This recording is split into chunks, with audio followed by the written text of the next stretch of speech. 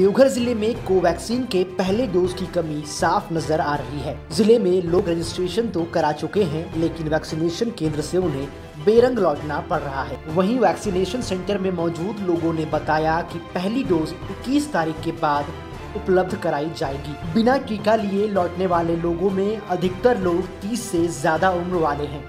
वहीं 60 से ऊपर के लोग भी पहली डोज से वंचित रह गए हैं। ऐसे में कहीं ऐसा ना हो कि तीसरी लहर के खिलाफ लड़ाई में जिला कमज़ोर पड़ जाए। कौन सा सुई? कोवैक्सीन। तो मिल गया। नहीं है अभी आउट ऑफ़ स्टॉक है। स्टॉक ख़त्म है। और तो कोवैक्सीन ने आपकी वाइफ का कितने दिन पहले ली थी?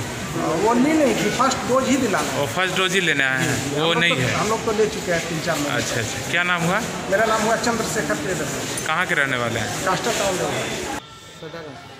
किस लिए? कोविड का टीका लेने क्या हुआ? लिए? नहीं ख़त्म हो गया। क्या बोले? बोले दो तीन तारीख तक आएँगे। पहला डोज क्या है सेकेंड डोज। सेकेंड डोज लेने के लिए आए हुए हैं। हाँ। तो बोल रहे हैं कि दस आदमी होगा तब देंगे कौन बोल रहे हैं दस? तो यहाँ पे कोई कंप्यूटर सिस्टम पे कोई ऑपरेटर बैठे हुए हैं। क्या बोले? कि दस दिन होगा दस आदमी होगा तब देंगे और दस डोज दस आदमी होने के बाद निकलेगा फ़ाइल ना? देवघर से लाइव लगातार के लिए जितन कुमार की रिपोर्ट। न्यूज़ अपडेट के लिए आप हमारे चैनल को सब्सक्राइब करें। आप हमें फेसबुक और इंस्टाग्राम पर भी फॉलो कर सकते हैं। बने रहे लगातार डॉट इन के साथ।